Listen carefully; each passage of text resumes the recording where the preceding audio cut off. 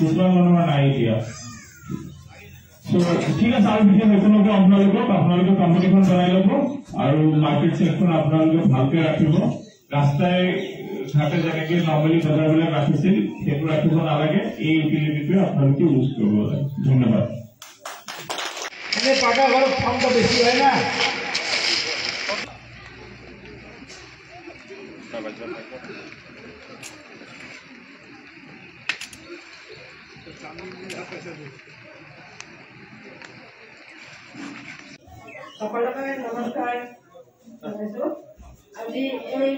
Model C L F হিচাপে বাছি উলিওৱা হৈছে।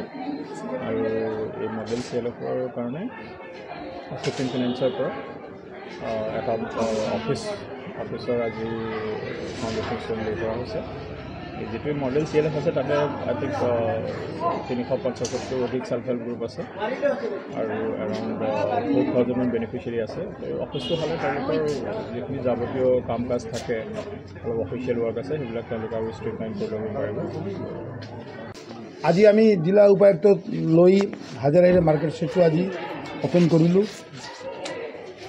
এইটো আপোনালোকে জানে দুই হাজাৰ চৈধ্য চনত যেতিয়া ভাৰতীয় জনতা পাৰ্টী চৰকাৰ কেন্দ্ৰত আহিল তেতিয়া চৈধ্য কোটি টকা দিছিল অসম চৰকাৰক। কিন্তু দুখৰ বিষয় তেতিয়াৰ কংগ্ৰেছ চৰকাৰে এই টকাখিনি খৰচ কৰা হয় নাই। দুই হাজাৰ সোতৰ চনত টকাটো ঘূৰি যাবৰ উপক্ৰম হৈছিল। মই তেতিয়া বিলাসীপাৰা পূব সমষ্টিৰ বিধায়ক আছিলোঁ। মই লাগি দিল্লীত লাগি এই টকাটো ৰাখি দিলোঁ। ৰাখি এই মাৰ্কেট ছেটবিলাক বনাই দিলোঁ। এই টকাটো আছিল ষাঠি হাজাৰ টকা দি পি এম ৱাই ঘৰ বনোৱা। ষাঠি হাজাৰ পি এম ৱাই ঘৰ নহয় তেওঁলোকে প্লানিং কৰিছিল যদি ক্ষমতাত আহে কংগ্ৰেছ চৰকাৰে এই টকাটো মাৰি দিব। কিন্তু মাৰিব নোৱাৰিলে গোটেই টকাটো আমি ইউজ কৰিলোঁ সদ্ভাৱনা মন্ত্ৰী বনালোঁ মাৰ্কেট ছেট বনালোঁ আপোনালোকে দেখিবলৈ পাইছে ৰাইজ নিশ্চয় উপকৃত হয় নিশ্চয় উপকৃত হ'ব। আগতে ৰাস্তাৰ ওপৰত বহিছিল ঝড় বৰষুণত বহিছিল এতিয়া পাকা ঘৰৰ তলত বহিব চাফ চিকুণ থাকিব স্বচ্ছ ভাৰত অভিযান যিটো ভাৰত চৰকাৰে চলাই আছে নিশ্চয় এইটো সফল হ'ব।